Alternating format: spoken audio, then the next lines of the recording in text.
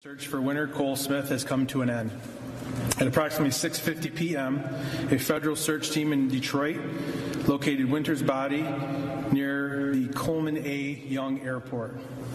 This investigation has moved from a missing child case to a homicide investigation. We will be coordinated with our federal partners in Lansing and Detroit, as well as local and federal prosecutors as we continue to investigate and determine the appropriate new charges. I want to remind everyone that this is an open investigation, and I will not comment on specifics of the case at this time. When we have an update we can share, we will provide it as soon as possible once we know it won't interfere with the investigation moving forward. We have been transparent up to this point, and we will continue to be transparent with the facts of this case as long as it doesn't interfere with the investigation. Right now, our hearts are with the family of Wynter Cole Smith. We saw a community show endless amount of support and assistance in help finding Wynter, and now we need the same support and love for the family as they grieve.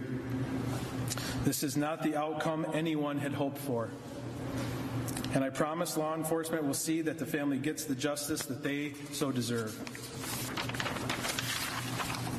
I also want to thank the men and women of the Lansing Police Department, the Lansing and Detroit FBI offices, the Michigan State Police, Ingham County Sheriff's Office, Ingham County Prosecutor's Office, Eaton County Sheriff's Office, the Detroit Police Department, Michigan State University Police, and the St. Clair Shores Police Department, and all neighboring law enforcement jurisdictions that spent endless hours on this investigation and for helping find Wynter.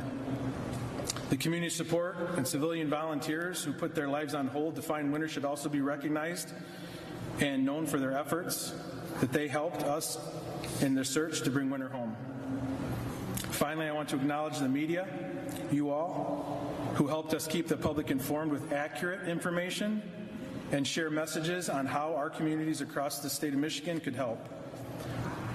Moving forward, please continue to forward any new information, any digital evidence, any witnesses, witness statements, or any other pertinent information to the Lansing Police Department or the FBI tip line. Thank you.